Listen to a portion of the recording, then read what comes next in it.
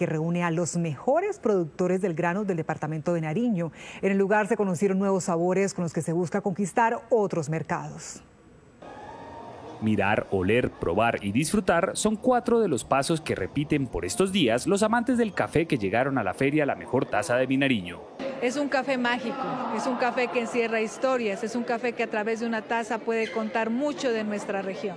Y es que han sido varias las sorpresas que se han llevado los catadores ante los sabores que aquí han encontrado.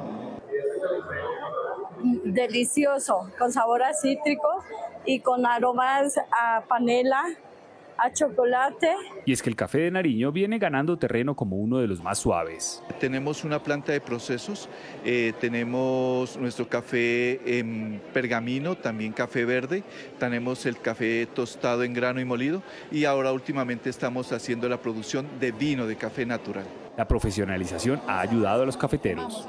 La importancia de los cafés especiales, la importancia de apoyar la compra directa a los campesinos y a, las asociaciones mutuales, a los productores de los cafés especiales. Hicimos el primer y segundo lugar que no se había hecho eh, nunca eh, con tasa de la excelencia 2022 con dos cafés geishas de dos de nuestros asociados. Logros que han convencido a algunos para que cambien los cultivos ilícitos por el café.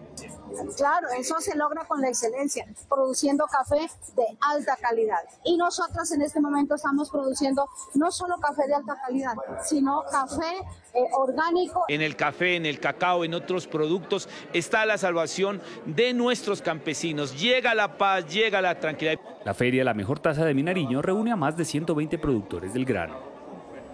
Y ahora vean